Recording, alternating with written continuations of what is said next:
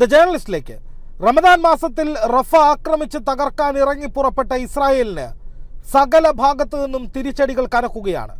ഹമാസും ഹൂത്തികളുമൊക്കെ ഇസ്രായേലിന് ശക്തമായ പ്രഹരമേൽപ്പിക്കുന്ന വിധത്തിൽ ഇടപെടലുകൾ നടത്തുമ്പോൾ ആക്രമണങ്ങൾ നടത്തുമ്പോൾ ഹിസ്ബുള്ളയും അതിൽ നിന്ന് മാറി നിൽക്കുന്നില്ല. കഴിഞ്ഞ പതിനാല് മണിക്കൂറിനിടെ പതിമൂന്ന് മിസൈൽ ആക്രമണങ്ങൾ ഹിസ്ബുള്ള ഇസ്രായേലിനുള്ളിലേക്ക് നടത്തിയെന്നാണ് ഇപ്പോൾ പുറത്തു വരുന്ന വിവരങ്ങൾ. ഈ പതിമൂന്ന് മിസൈൽ ആക്രമണങ്ങൾ എന്ന് പറയുന്നത് വളരെ പ്രഹരശേഷിയുള്ളതായിരുന്നു. ഇസ്രായേലിനുള്ളിലേക്കായിരുന്നു. കത്യൂഷ മിസൈലുകളാണ് റോക്കറ്റുകളാണ് ഇതിനുവേണ്ടി ഉപയോഗിച്ചത് എന്നാണ് ഹിസ്ബുള്ള അവകാശപ്പെടുന്നത്. അതോടൊപ്പം ഇസ്രായേൽ അതിർത്തിയിലുള്ള ഇസ്രായേലിന്റെ ഏറ്റവും പ്രധാനപ്പെട്ട ഒരു സെറ്റിൽമെന്റിലേക്കും ആക്രമണം നടത്തിയെന്നും റിപ്പോർട്ടുകളിൽ പറയുന്നുണ്ട്.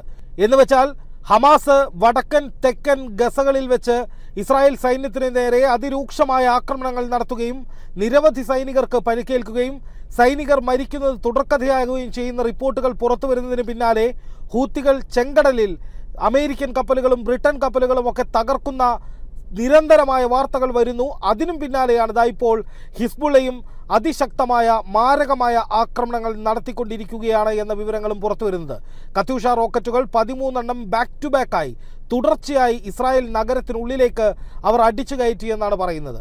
എന്ന് വെച്ചാൽ ഇസ്രായേലിന്റെ സുരക്ഷാ പ്രശ്നവും വർദ്ധിച്ചിരിക്കുകയാണ്. റഫയിൽ റമദാൻ മാസത്തിൽ ഒരു വലിയ ആക്രമണം അതായത് പതിനാല് ലക്ഷത്തോളം പേർ തിങ്ങി പാർക്കുന്ന റഫയിലേക്ക് ഇത്തരത്തിലൊരു ആക്രമണം നടത്തുമെന്ന് ഇസ്രായേൽ പ്രഖ്യാപിച്ചപ്പോൾ തന്നെ സകല മനുഷ്യരും പറഞ്ഞു ഇത് ചെയ്യരുത് എന്ന് അമേരിക്ക പോലും ഇതിൽ നിന്ന് ഇസ്രായേലിനെ പിന്മാറ്റാനുള്ള ശ്രമങ്ങൾ നടത്തിയിരുന്നു. ഈ സമയത്തും ഇസ്രായേൽ പറഞ്ഞത് ഞങ്ങൾ എന്തു വന്നാലും ഇത് ചെയ്യുമെന്നാണ്.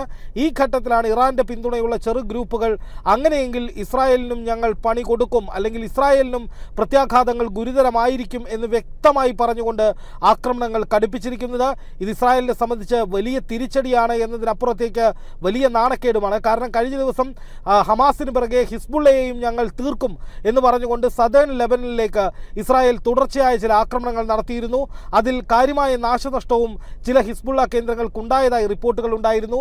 പക്ഷെ അതുകൊണ്ട് ഹിസ്ബുള്ള ഈ ആക്രമണം നിർത്തുകയോ പിന്നോട്ട് പോവുകയോ ചെയ്യുന്നില്ല. മറിച്ച് ഇസ്രായേലിന് കൂടുതൽ കൂടുതൽ പ്രഹരമേൽപ്പിച്ചുകൊണ്ടിരിക്കുകയാണ് ഹിസ്ബ ഹിസ്ബുള്ളയുടെ ഏറ്റവും ഒടുവിൽ വന്ന റിപ്പോർട്ടുകൾ എന്ന് പറയുന്നത് പതിനഞ്ച് കിലോമീറ്ററോളം ഇസ്രായേലിനുള്ളിലേക്ക് കടന്നു കയറുന്ന മിസൈലുകൾ തങ്ങളുടെ പക്കലുണ്ട്. തങ്ങളത് പ്രയോഗിച്ചു എന്ന് ഹിസ്ബുള്ള പറഞ്ഞിരുന്നു. അതുപോലെ തന്നെ ഇസ്രായേലിന്റെ തുറമുഖ നഗരമായ ഹൈഫൈ ഉൾപ്പെടെയുള്ള പല പ്രദേശങ്ങളിലേക്കും ഞങ്ങൾ ആക്രമണം നടത്തിയിട്ടുണ്ട് എന്നും ഹിസ്ബുള്ള പറഞ്ഞിരുന്നു. അതിനു മുമ്പ് ഇസ്രായേലിലെ ഒരു യൂണിവേഴ്സിറ്റി നടത്തിയ പഠനത്തിൽ ഒരു യുദ്ധം പൊട്ടിപ്പുറപ്പെട്ടാൽ ഹിസ്ബുള്ള ഇസ്രായേലിനുള്ളിലേക്ക് നുഴഞ്ഞു കയറുമെന്നും നിരവധി ഇടങ്ങൾ തകർക്കുമെന്നും അത് ഇസ്രായേലിന് താങ്ങാവുന്നതിനും അപ്പുറമായിരിക്കുമെന്നും റിപ്പോർട്ടുകൾ ഉണ്ടായിരുന്നു. അതിനിടയിലാണ് ഓരോ ദിവസവും ഹിസ്ബുള്ള ശക്തമായ ആക്രമണങ്ങൾ ഇസ്രായേലിലേക്ക് നടത്തുന്നത്. പതിനാല് മണിക്കൂറിനിടെ തുടർച്ചയായ പതിമൂന്ന് മിസൈൽ ആക്രമണം എന്ന് പറഞ്ഞാൽ അത് ഇസ്രായേലിനുള്ള വലിയ വെല്ലുവിളിയാണ്. ഇനിയും ഇത്തരം ആക്രമണങ്ങൾ തുടരും എന്ന ഭീഷണി തന്നെയാണ് ഇസ്രായേലിന് ഇതിലൂടെ നൽകുന്നത്. എന്തായാലും ഇപ്പോഴത്തെ സാഹചര്യത്തിൽ ഹിസ്ബുള്ളയുടെ നേതൃത്വത്തിൽ ശക്തമായ ആക്രമണങ്ങൾ പുരോഗമിക്കുന്നു. ഹിസ്ബുള്ളയെ നിലയ്ക്ക് നിർത്താൻ വേണ്ടി ഇസ്രായേൽ ഹിസ്ബുള്ളയുടെ ഒരു നഗരത്തിലേക്ക് സദേൺ ലെബനിലേക്ക് ഒരു ആക്രമണം നടത്തി.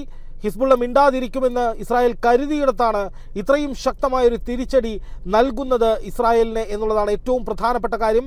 ചുരുക്കി പറഞ്ഞാൽ റഫയിലേക്ക് കടന്നു കയറി പതിനാല് ലക്ഷത്തോളം പേർ തിങ്ങിപ്പാർക്കുന്നിടത്തേക്ക് ഒരു വലിയ ആക്രമണം നടത്തുമെന്ന് ഇസ്രായേൽ പ്രഖ്യാപിച്ചതിന് പിന്നാലെ തുടർച്ചയായി അടികൾ കിട്ടുകയാണ്.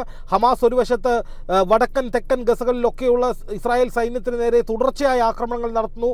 നാൽപ്പത്താറ് സൈനികർ ഒറ്റയടിക്ക് ഗുരുതരമായി പരിക്കേറ്റുന്ന വിധത്തിൽ ഒരു ആക്രമണം ഇസ്രായേൽ നടത്തി ഇസ്രായേലിനെതിരെ ഹമാസ് നടത്തിയെന്ന് പറഞ്ഞിരുന്നു. ഇന്ന് ഏഴ് ഇസ്രായേലി സൈനികരെ കൊന്നു എന്ന വാർത്തകൾ പുറത്തു വരുന്നു അതിന് പിന്നാലെയാണ് ഹൂത്തികൾ ചെങ്കടലിൽ ഒരു വിട്ടുവീഴ്ചയുമില്ലാത്ത ആക്രമണങ്ങൾ തുടർന്നുകൊണ്ടിരിക്കുന്നത്.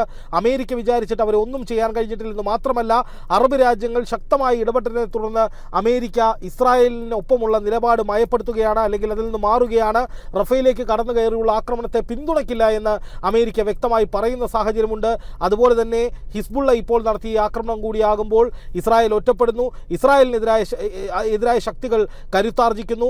ഇസ്രായേലിന് നേരെ ഏത് നിമിഷവും വലിയ ആക്രമണങ്ങൾക്ക് സാധ്യതയുണ്ട് എന്ന ഭീഷണി ഹിസ്ബുള്ള ഉയർത്തുകയും ചെയ്യുന്നു.